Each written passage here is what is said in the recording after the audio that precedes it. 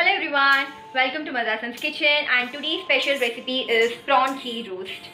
It's a spicy Mangalorean style prawn dish that's cooked with a special homemade ghee roast masala paste.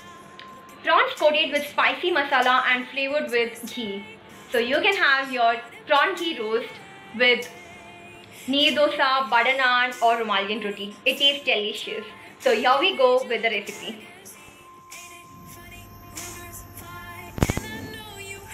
Prawns,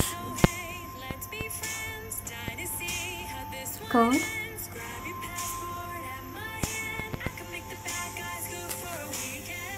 salt to taste, 1 spoon turmeric powder, 1 spoon red chili powder, dhania powder,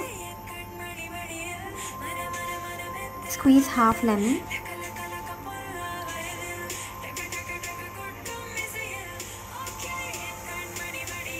mix it well, marinate it at least for 15 to 20 minutes. Take a kadai, add dry red chili, coriander seeds,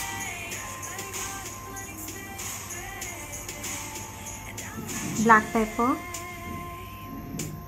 fenugreek seed,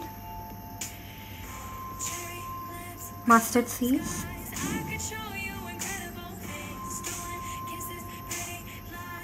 cumin seed, saute it well till gets dark in color. Grind all the spices together. Add garlic and soak tamarind along with its water. Grind it. Add ghee.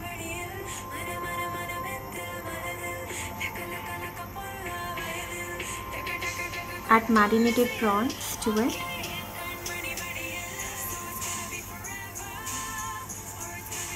Saute it nicely for 10 minutes on high flame till it gets dry.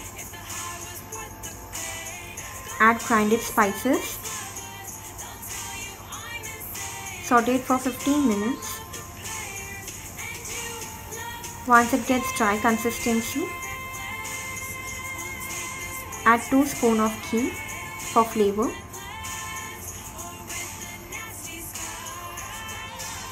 Add curry leaves and our ghee roast prawns is ready.